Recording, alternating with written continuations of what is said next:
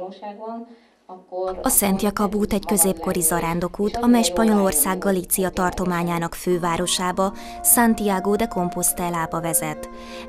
Ezt a spanyol neve Camino de Santiago után gyakran El Camino-nak is nevezik.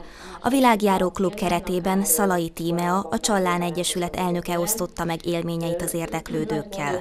A beszámoló előtt olyan kérdések merültek fel a témával kapcsolatban, hogy mennyire vallásos érdeklődésű az, aki részt vesz az arándokúton, vagy hogy az előadó hogyan élte meg a közel két hetes zarándoklást. Az előadás körülbelül egy 15 perces filmvetítéssel indult.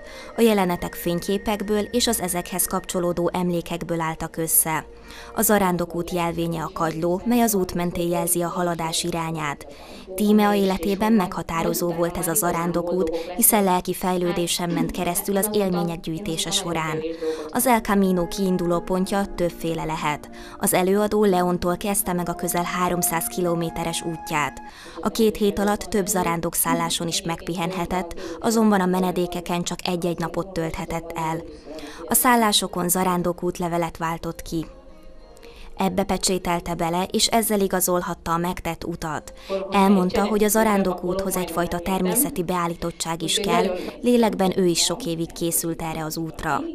Legjobb élményeként azt emelte ki, amikor Madridból Leonba, vagyis az Arándókút kiinduló pontjához tartó vonatra szállt, ugyanis ekkor tudatosult benne, hogy valóban megmerte tenni, és végre átélheti az igazi szabadság érzését. Az előadás után az érdeklődők kérdéseket tettek fel zarándokunknak, amelyekre ő készségesen válaszolt. A világjáró klub szervezői forralt borral kedveskedtek a megjelenteknek.